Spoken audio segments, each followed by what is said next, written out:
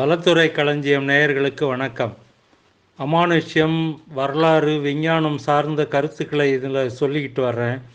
இன்றைய காணொளியில் ஒரு புவியியல் சம்பந்தப்பட்ட ஒரு கட் கருத்துக்களை பகிர்ந்து கொள்ளப் போகிறேன். இது விஞ்ஞானிகளுக்கு புரியாத ஒரு புதிர். அண்டார்டிகா அப்படின்ற ஒரு தென்துருவம் பனி படர்ந்த பகுதின்னு உங்களுக்கு தெரியும்.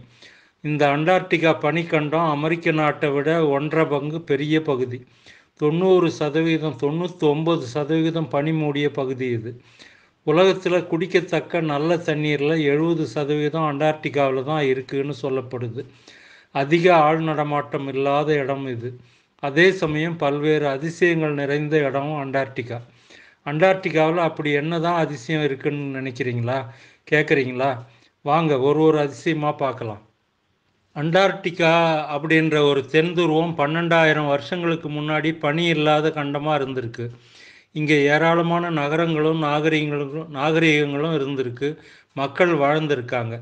கடலில் மூழ்கி மறைஞ்ச அட்லாண்டிஸ் கண்டம் பற்றி கேள்விப்பட்டிருப்பீங்க. இந்த அட்லாண்டிஸ் கண்டத்துக்கும் அண்டார்டிகாவுக்கும் தொடர்பு இருக்குது அப்படின்னு சொல்கிறவங்களும் இருக்காங்க. அண்டார்டிகாவில் பெரிய பிரமிடு இருக்குன்னா உங்களுக்கு இன்னும் ஆச்சரியமாக இருக்கும். அந்த பிரமிடை சுற்றி மூணு சின்ன பிரமிடுகளும் இருக்குது அதே வேளையில் அது பிரமிடுகள் இல்லை இயற்கையான அமைப்புன்னு சொல்கிறவங்களும் இருக்காங்க. கூகுள் மேப்பில் போய் அண்டார்டிகாவில் இருக்கிற அந்த அதிசய பிரமிடுகளை நீங்கள் கூட பார்க்கலாம். அந்த பிரமிடுகள் விண்வெளியில் வாழுற ஏலியன்கள்னு சொல்லப்படுகின்ற வேற்று கிரகவாசிகளோட ரகசிய பறக்குந்தட்டு தளமாகவும் கருதப்படுது. அமெரிக்காவை சேர்ந்த கடற்படை தளபதி அட்மிரல் ரிச்சர்டு இ. பைடு இவர் நிலத்துக்கு அடியில் பாதாள உலகம் இருக்குன்ற ஒரு கருத்து மேலே ரொம்ப நம்பிக்கை உள்ளவர்.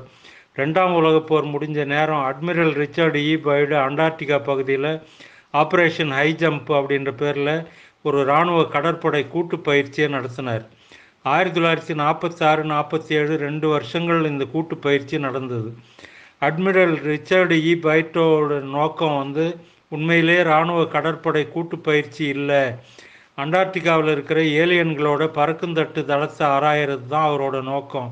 அதை மறைச்சி அண்டார்டிகா பகுதிக்கு போகிறதுக்கு ஏதாவது ஒரு காரணம் வேணும்னு அவர் செய்த ஏற்பாடு தான் இந்த கூட்டு பயிற்சி அப்படின்னு அந்த காலத்திலே பரபரப்பாக பேசப்பட்டது. அந்த பகுதியில் ஆப்ரேஷன் ஹை ஜம்ப் கூட்டு பயிற்சி நடந்தபோது எடுக்கப்பட்ட படங்களில் அந்த பிரமிடுகளை சுற்றி வட்ட வடிவான அமைப்பு தென்பட்டது எல்லாரும் பார்த்தாங்க. அதே மாதிரி நவீன காலத்தில் அமெரிக்க அதிபர் தேர்தலில் ஜனநாயக கட்சி வேட்பாளராக போட்டியிட்ட ஜான் கெர்ரி ஒரு முறை அண்டார்டிகாவுக்கு போயிருந்தார்.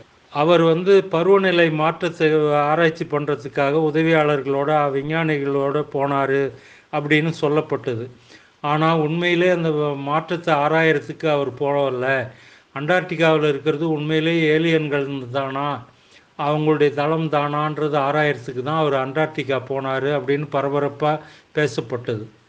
தி டெய்லி மெயில் பத்திரிக்கை அண்டார்டிகாவில் இருக்கிறது ஏலியன்களோட பறக்குந்தட்டு தளம் தான் அப்படின்னு ஒரு பெரிய கட்டுரை கூட வெளியிட்டிருக்கு.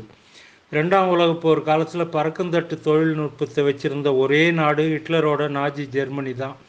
போரில் தோற்று போவோன்னு தெரிஞ்சதும் ஹிட்லரோட பறக்குந்தட்டு விஞ்ஞானிகள் பறக்குந்தட்டோட ரகசியமாக அண்டார்டிகாவுக்கு இடம் பெருந்து அங்கே தளம் அமைச்சதாகவும் கூட ஒரு கருத்து இருக்குது அண்டார்டிகாவில் ஹிட்லர் காலத்தில் அவரோட நீர்மூழ்கி கப்பல்கள் ரகசியமாக போய் வர்றதுக்கு பல மைல் நீளமுள்ள நிலத்தடி பனி குகைகள் இருக்கிறதா இன்றைக்கும் நம்பப்படுது. அந்த ரகசிய பனிக்குகைகள் வழியாக கடலை விட்டு ரொம்ப தூரம் அண்டார்டிகா பனிக்கண்டத்தின் உள்பகுதிக்கு ஒருத்தர் ரகசியமாக போய் வர முடியும்னு பல பேர் நம்புகிறாங்க அண்டார்டிகாவில் இன்னொரு அதிசயம் இருக்குது அது தரையில் தெரிகிற மிகப்பெரிய முகம். அது முகத்தில் ரெண்டு கண்கள் ஒரு மூக்கு வாய் எல்லாமே இருக்குது செவ்வாய் கிரகத்தில் தெரிகிற மனித முகம் மாதிரி அது. அண்டார்டிகாவில் தெரிகிற இந்த முகத்துக்கு மனித முகம் ரொம்ப பிரபலமானது. இதை படத்தில் பார்த்தா நீங்களே ஆச்சரியப்படுவீங்க. இந்த அண்டார்டிகா மகித மனித முகத்தை விண்டா மவு மவுண்டன் கோவே அப்படின்னு அப்படின்ற ஒரு பெண்மணி ஆராய்ச்சி செய்தாங்க. அவங்க முகத்துக்கு வச்ச பெயர் பிளாக் ஸ்டோன் ஃபேஸ் அப்படின்னு வச்சாங்க. ரெண்டாயிரத்தி நாலாம் வருஷமே செயற்கைக்கோள் மூலம் அண்டார்டிகாவில் இப்படி ஒரு முகம் இருக்குதுன்னு விஞ்ஞானிகளுக்கு தெரிஞ்சு போச்சு. ஆனால் யாருமே அதை பற்றி மூச்சு விடலை. அண்டார்டிகா மனித முகத்தை ஆரம்பத்துலேருந்து ஏன் விஞ்ஞானிகள் மறைச்சாங்கன்னு ஒரு கேள்வி லிண்டாகிட்டையும் இருந்து இருக்குது அமெரிக்க கடற்படையிலிருந்து ஓய்வு பெற்ற ஒரு அதிகாரி கேப்டன் மார்க்வுட் இவர் ஏலியன்கள் அணு அணுநாக்கிகள் பற்றின விஷயங்களில் அதிக ஆர்வம் உள்ளவர் ஆனால் இவர் கூட லிண்டா கிட்ட அண்டார்டிகா மனித முகம் பற்றி பேச மறுத்துட்டார். ஆஸ்திரேலியாவுக்கு நேர் தெற்க இருக்கிற அண்டார்டிகா பகுதியில் ஒரு முறை ஐரோப்பா கண்டத்தில் இருக்கிற பழங்கால கோட்டை மாதிரியான உருவம் தெரிஞ்சுது. அந்த கோட்டை வடிவ உருவம் எல்லாரையும் ஆச்சரியப்பட வச்சுது. அண்டார்டிகாவில் இருக்கிற இன்னொரு அதிசயம் அங்கே இருக்கிற பெரிய துளை. ரெண்டாயிரத்தி பதினேழாம் வருஷம் இந்த ஹோல் கண்டுபிடிக்கப்பட்டது. செப்டம்பர் மாத நடுப்பகுதியில் அந்த ஹோல் கண்டுபிடிக்கப்பட்ட போது அது மூவாயிரத்தி எழுநூறு சதுர மைல் பரப்பளவில் இருந்தது. ஆனால் ஆறே வாரத்தில் அது முப்பதனாயிரம் சதுர மைல் பரப்பளவுக்கு அதிகரிச்சது. இந்த பரப்பளவு அமெரிக்காவில் இருக்கிற கன்சாஸ் மாகாணத்துக்கு சமமான பரப்பளவு அல்லது நெதர்லாண்டு நாட்டை விட பெரிய பரப்பளவு. அந்த அதிசய துளைக்கு போலின்லியா அப்படின்னு ம விஞ்ஞானிகள் பேர் வச்சுருக்காங்க. இந்த துளைக்கும் வடதுருவமான ஆர்டிக்கில் உள்ள துளைக்கும் ஒரு தொடர்பு இருக்கிறதா கருதப்படுது. அண்டார்டிகா துளைக்குள்ளே யாரும் தவறி விழுந்துடாமல் இருக்க இதை சுற்றி தடுப்பு சுவர்களை அமைச்சிருக்காங்க. இந்த துளை வழியாக கூட ஏலியன்களோட பறக்கும் தட்டுகள் திடீர்னு பறந்து வர்றதா சில பேர் சொல்கிறாங்க அண்டார்டிகாவில் இருக்கிற இன்னொரு அதிசயமான இருக்கு விஷயம் அங்கே இருக்கிற மின்காந்த வயல். ரொம்ப குழப்பமான மின்காந்த வயல். நீங்கள் திசை காட்டி கருவியை வச்சுக்கிட்டு அந்த பனிக்கண்டத்தில் குறிப்பிட்ட இடத்த நோக்கி போகணும்னு நினச்சா அது முடியாது. மின்காந்த வயல் உங்கள் திசை காட்டி கரு கருவியை குழப்பி விட்டுடும். அண்டார்டிகாவில் வாழ்கிற ஏதோ ஒரு சக்தி தான் மனிதர்கள் சுதந்திரமாக நடமாட முடியாதபடி இப்படி குழப்பமான மென்காந்த வயலை ஏற்படுத்தி வச்சிருக்கு அப்படின்னு சொல்கிறவங்களும் இருக்காங்க.